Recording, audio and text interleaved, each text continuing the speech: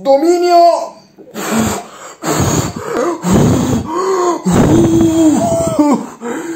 dell'aria.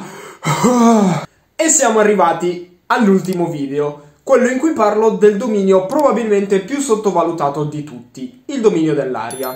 Dico che è il più sottovalutato perché i dominatori dell'aria sono dei pacifisti e quindi utilizzano sempre il loro dominio o per gioco o per difesa e reazione, mai per attaccare. Difficilmente attaccano in modo violento con l'intento di fare del male. La loro tecnica è ispirata al Bagua Zhang, uno stile dai movimenti molto leggeri e rapidi. Beh, se il dominio dell'acqua è legato all'inverno, il fuoco all'estate e la terra alla primavera, 2 più 2 fa 4, quindi il dominio dell'aria è legato all'autunno. Una particolarità che si differenzia dagli altri tre paesi è che tutti i nomadi dell'aria sono dei dominatori. L'aria è l'elemento della libertà e questo dominio è legato alla serenità, data la grande spiritualità che lega i dominatori di questo elemento. I primi dominatori dell'aria furono i bisonti volanti. Così i nomadi, dopo aver ricevuto il potere del dominio dalla solita tartaruga leone, osservarono questi possenti animali così da imparare a dominare l'aria. Un'altra particolarità è che chi ha questo dominio è in costante contatto col proprio elemento ed è l'unico a non poter essere limitato in alcun modo nel luogo in cui si trova. A meno che non ti trovi nello spazio, certo. I dominatori dell'aria possono utilizzare le loro capacità in moltissimi modi differenti. Di base nel combattimento sfruttano la loro grande agilità e velocità, che possono aumentarle ulteriormente grazie al loro dominio. Come i dominatori dell'acqua, anche loro possono manipolare le nuvole, Creano monopattini o ruote d'aria per giocare e divertirsi. Possono creare dei cuscini d'aria per attutire le cadute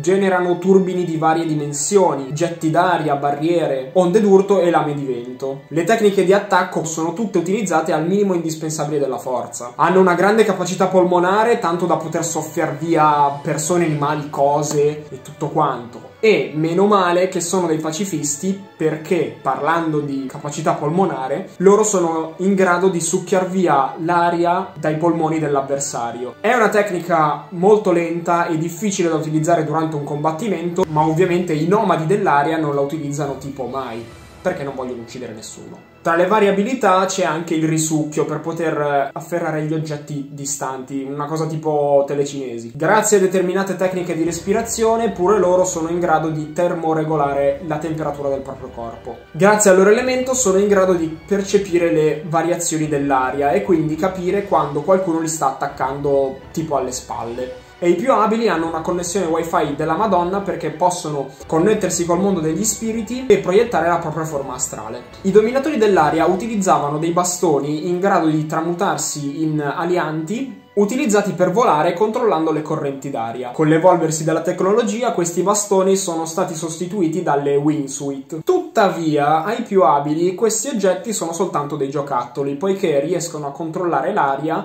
in modo da poterle evitare. Infine, il più totogalattico di tutti, quello che ha raggiunto l'illuminazione distaccandosi da ogni desiderio materiale e terreno, acquisisce la capacità di volare. Non levitare, volare. Perché il suo spirito è diventato leggero come l'aria stessa. Finito. Trovo che gli autori abbiano fatto un lavoro di ricerca e studio impressionante per quanto riguarda le arti marziali e anche le usanze dei vari paesi per crearne nel modo più specifico possibile. Allora, che ne pensi? Qual è il tuo stile o dominio preferito? Qual è quello che ti ha impressionato di più? Qual è quello che ti ha incuriosito? Conoscevi già questo cartone? Dimmi tutto quello che ti pare a proposito di questi video. Vorrei avere più feedback possibile per poter migliorare. In ogni caso io consiglio di guardare questa serie a chiunque perché è bellissima. Comunque dai basta, sto parlando troppo, ci vediamo alla prossima!